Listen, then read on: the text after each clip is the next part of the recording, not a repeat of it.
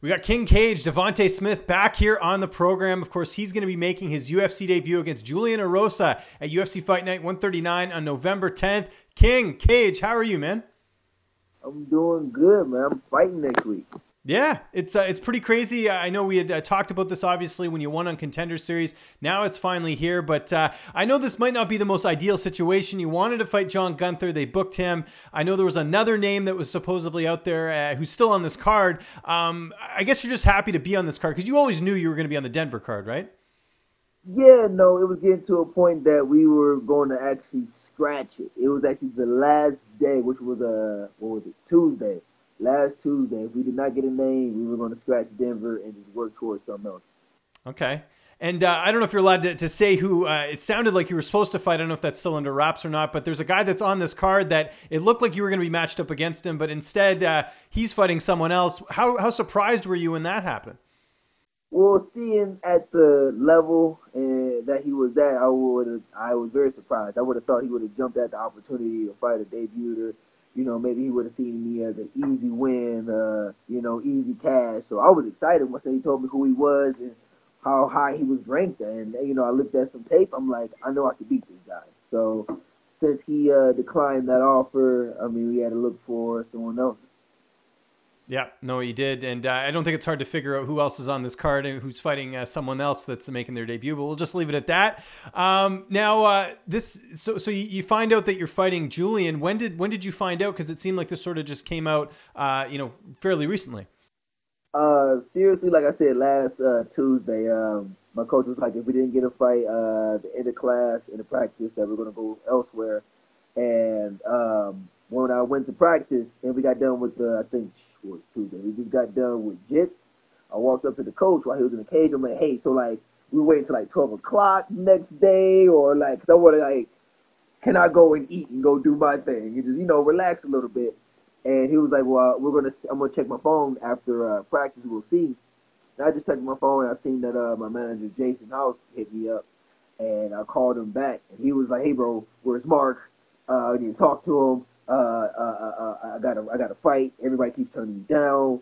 Uh, I finally got a guy named Julian Erosa. I didn't care. I said bring him, and um, he we we wanted to see we we let the coach decide in a sense. You know, uh, is this the fight he wanted me to take? Because you know I'm a, I have the fighter's mentality to a certain extent. Like I mean, it's my debut. You know, throw it my way. I don't care who it is. They gonna get this work.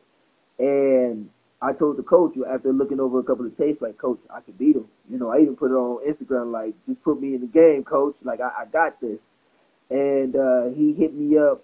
I think uh, a little later that night was like, uh, uh, I'm gonna let you know by tomorrow. And I was like, really nervous. Like, I hope this guy, well, I manifest this guy didn't get cold feet. Like, once he started really looking me up, like, ooh, do I really want to do this?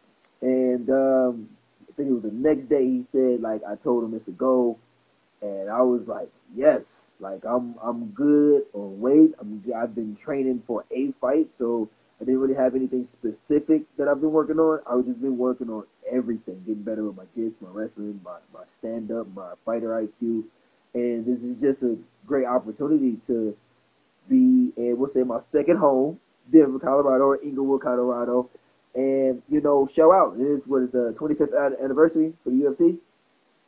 So I believe it's just a it's it's it's a it's a great opportunity. So I'm just ready to put on the show and get this win.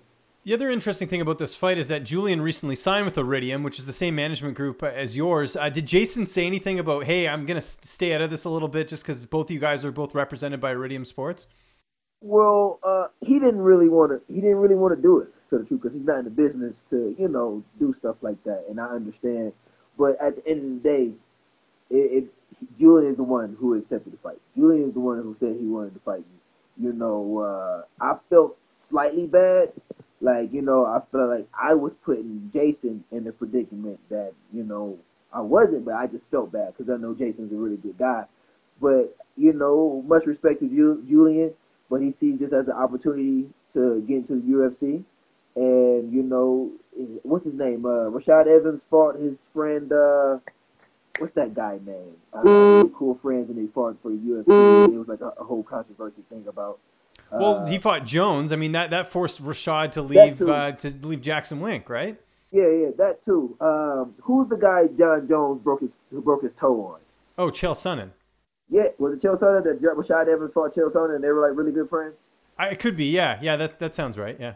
Yeah, so you know, sometimes stuff like this, things like this happens. But again, I see this as Julian sees this as a great opportunity to get in the UFC. So I mean, for him to accept the fight and knowing, obviously he knew before I did, knowing we are all a part of the same uh, management crew, didn't matter to him. So why should it matter to me? And, and, this has happened with Iridium before. Uh, Terrion Ware and Cody Stamann fought each other in their UFC debuts, and they're both managed by Jason. So, uh, you know, it's, it's just the nature of the business that there are going to be uh, paths that cross, right? So it happens. Um, how's training camp right now? Because uh, there's so many of your teammates on this card, and there's just a lot of fights in general. I, I you know, we just found out yesterday Brandon Royval is going to be fighting for the LFA title uh, the night before. So, what's the morale like right now at Factory X? Um, everybody's just happy. Everybody's ready to like get this work in. I think it was last week. Uh, Anthony Smith fought, and we just had like a, a Anthony Smith in Court McGee. We just had like uh pretty much the whole team won that whole week, and you know everybody on on the squad for this week. We just ready to keep the keep the trend going. You know, uh, we got Maycee, uh, believe Mark. Uh, Brandon not fighting the UFC, but he's fighting for LFA, which is the big thing. He's fighting for the title. Uh, Mike, what's his name? Is it Trukovich or Truvich? Tr- Trizano, yeah, I know. Stopped in and, and trained with you guys because he's fighting Luis Pena or Luis Pena. Yeah, yeah, cool, cool guy. Um, shoot, I'm fighting on the card. Everybody's just ready to put on for Factory X, and um, like I said, keep the trend going. How good is Maycee Barber? Because uh, you know we've seen her in Contender Series and LFA. You get to work with her a lot. She's only 20 years old. Uh, she seems like quite the talent. Yeah, she she's great. Uh, they got a joke going around when uh because I was sparring Court right, and he kicked me in my leg, and it messed my leg up. Like I was sore for like a day or two, and I sparred uh I flowed with uh Maycee like right after, and she kicked my other leg, but she had no shin guards on, so my leg was sore. But the one that Court did was a lot worse than what she did. But everybody was going to, mm. you know, what I'm saying Maycee took my leg down. So yeah, so now when mm. she be seeing me, she be like flinching at, jumping at me and stuff. So you know, but she's a, she's a really good character, really fun person to be around. She always throws shade at me. She thinks it's funny, but she's a really cool person. So I like I, I like that she's on the team, and I'm glad I met her. Uh, speaking of bumps and bruises, a good segue to my next question. Uh, recovery. Uh, it seems like the, the relationship with you and Terphouse has worked out great. I always see you using the CBD oil. How's all that going? Uh, getting to use all those products uh, for training camp?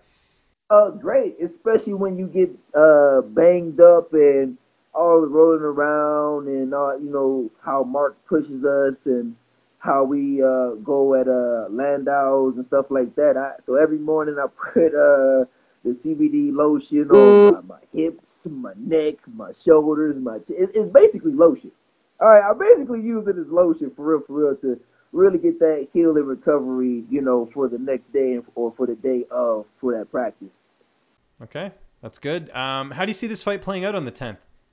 Um, I, like always, me coming out on top, me winning in in, in a vicious, uh, fashionable way. Um, me going home with two two checks, if not three checks, you know, because I come for the whole thing and not for the half.